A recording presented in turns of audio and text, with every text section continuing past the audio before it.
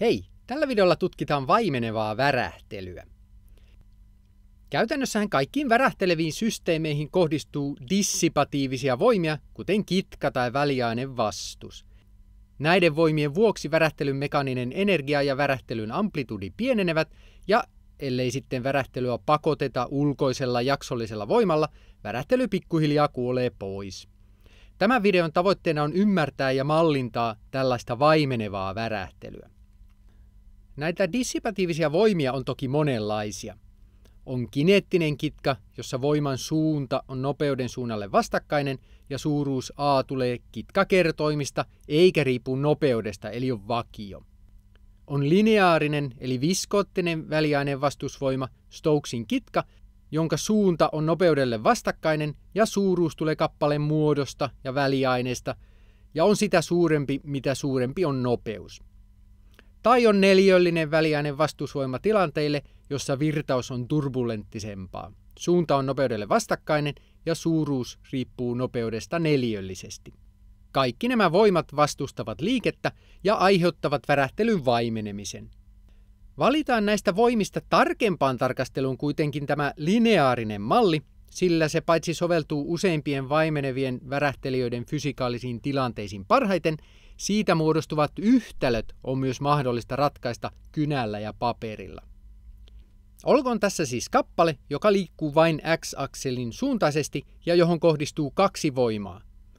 Palauttava jousivoima miinus jousivakio kertaa poikkeama x ja lineaarinen dissipatiivinen voima b kertaa nopeus v ja suunnaltaan nopeudelle vastakkainen.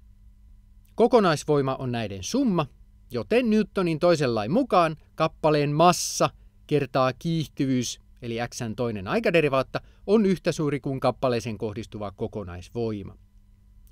Koska nopeus v on x ensimmäinen aikaderivaatta, niin saamme m jaettuna tämän näköisen yhtälön tuntemattomalle ajan funktiolle x.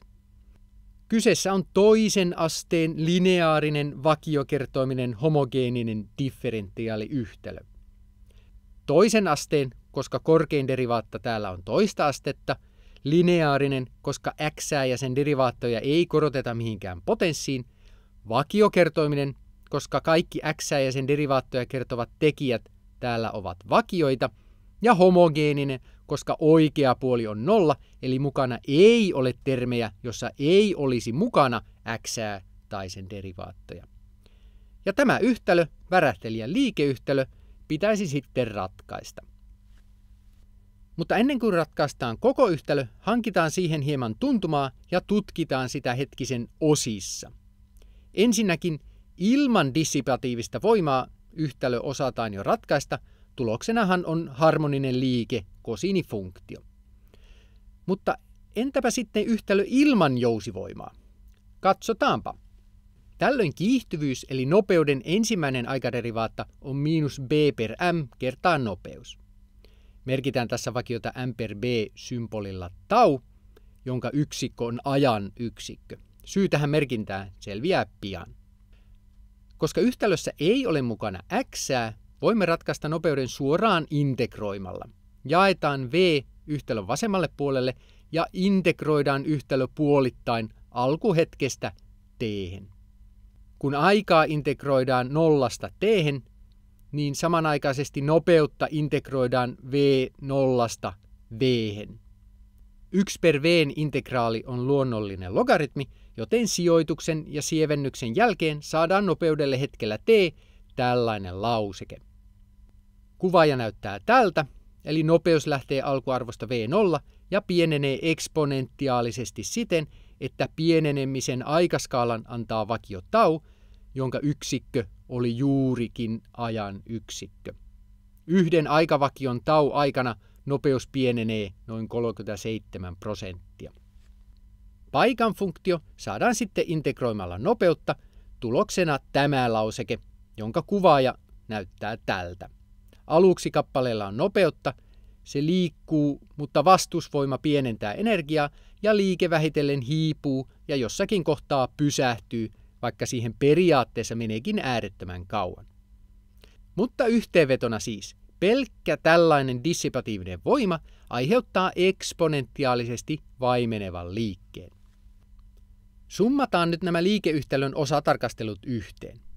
Eli kun mukana on vain jousivoima, liikeyhtälö näyttää tältä ja tuloksena on harmoninen värähtely, x on verrannollinen kosinifunktioon.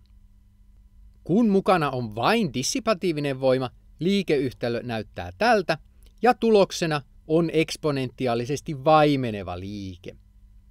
Ja kun mukana on sekä jousivoima että dissipatiivinen voima, liikeyhtälö näyttää tältä ja tuloksena on vaimeneva värähtely.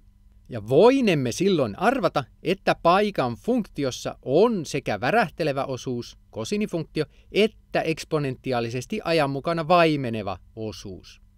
Tehdään siis x ajan funktiona sen tyyppinen arvaus. Sijoitetaan tähän yhtälöön ja katsotaan arvasimmeko oikein. Tämä strategia tosiaankin osoittautuu toimivaksi, sillä tämän liikeyhtälön ratkaisee paikan funktio x, joka on amplitudi a kertaa e-potenssiin t per 2 tau kertaa kosini omega t plus phi 0, missä kulmataajuus omega on tämän näköinen neljöjuurilauseke ja vaihe phi 0 edustaa alkuehtoa. Tämä funktio tosiaan toteuttaa liikeyhtälön, kuten voit osoittaa sijoittamalla x tuonne, laskemalla x ensimmäisen aikaderivaatan ja sijoittamalla sen tuonne, ja laskemalla x toisen aikaderivaatan ja sijoittamalla tuonne. Tällöin termien summasta tosiaan tulee nolla. Kulmataajuus omega voidaan ilmaista myös näin, missä omega nolla on värähtelijän luonnollinen kulmataajuus – eli taajuus, jolla systeemi värähtelisi ilman vaimennusta, ja tau on edellä esitelty vaimennuksen aikavakio. Tutkitaan nyt tätä saatua ratkaisua etenkin hitaasti vaimeneva värähtelyn yhteydessä. Hitaasti vaimeneva värähtely tarkoittaa, että vaimennus on vain pieni häiriö värähtelyyn siten, että vaimeneminen on hitaampaa kuin värähtely itse. Mikä tarkoittaa, että vaimennuksen aikaskaala tau on paljon suurempi kuin vaimentamattoman värähtelyn jakson aika t. Tällöin kulmataajuuden lausekkeessa jälkimmäinen termi on pieni suhteessa ensimmäiseen, eli värähtelyn taajuus vaimennettuna on lähes sama kuin systeemin luonnollinen kulmataajuus. Esimerkiksi olkoon meillä kilon massainen värähtelijä, jonka luonnollinen jakson aika ilman vaimennusta on yksi sekunti. Jos vakio B on 0,01 kg per sekunti, niin tällöin vaimenemisen aikavakio tau on 100 sekuntia ja värähtely vaimenee hitaasti. Jos vakio B on 0,1 kg per sekunti, niin tau on 10 sekuntia ja vaimeneminen on jo voimakkaampaa, vaikka värähtelyitä ehtiikin tapahtua vielä useita ennen vaimenemista. Ja jos B lähestyy arvoa 1 kg per sekunti ja tau arvoa 1 sekunti, niin vaimeneminen on jo niin voimakasta, että värähtelyjä tapahtuu vain muutamia. Huomaa muuten, että vaimentumisesta huolimatta värähtelyn taajuus kuitenkin säilyy melko tarkkaan samana. No koska värähtelyn amplitudi ajan funktiona pienenee tällä tavoin eksponentiaalisesti, voimme piirtää värähtelyn amplitudille niin kutsutun varjokäyrän.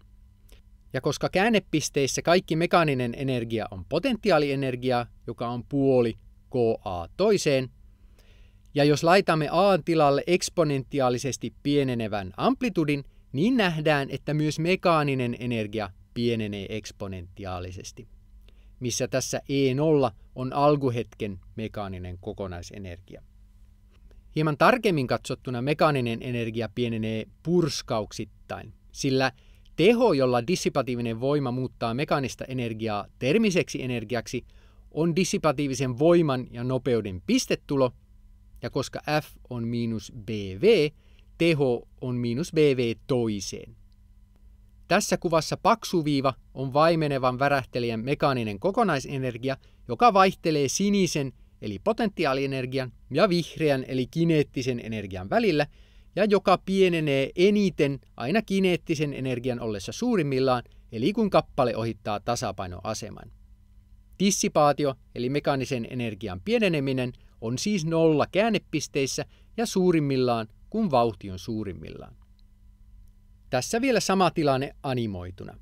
Aluksi systeemille annetaan jokin kokonaisenergia, joka värähtelyn edetessä vaihtelee vihreän kineettisen energian ja sinisen potentiaalienergian välillä, ja josta jatkuvasti suurempi osa muuttuu punaiseksi termiseksi energiaksi.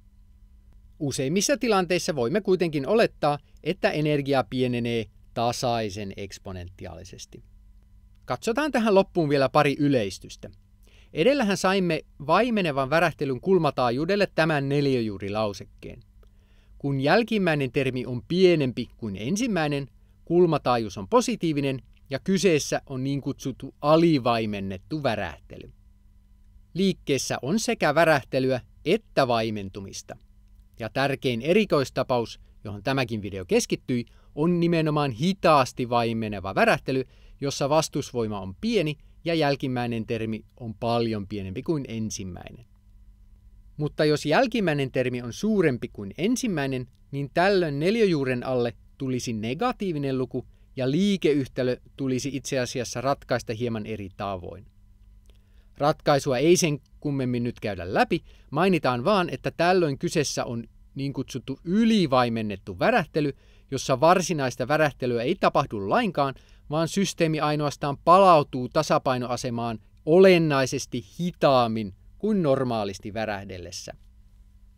Edelleen, jos jälkimmäinen termi on yhtä suuri kuin ensimmäinen, niin tällöin kulmataajuudesta tulee tasan nolla ja kyseessä on niin kutsuttu kriittisesti vaimennettu värähtely. Tässä tapauksessa värähtelijä palautuu mahdollisimman nopeasti tasapainoasemaan kuitenkin ilman värähtelyä. Tällainen kriittisesti vaimennettu värähtely on tietyissä tilanteissa tärkeää. Emmehän esimerkiksi halua, että avattu ovi tai pohjaan painunut auton iskuvaimenin palautuisivat tasapainoasemaan värähdellen, vaan toki haluamme, että palautuminen tasapainoasemaan tapahtuisi mahdollisimman nopeasti, mutta kuitenkin ilman värähtelyä. Näissä tilanteissa kyse on kriittisesti vaimennetusta värähtelystä.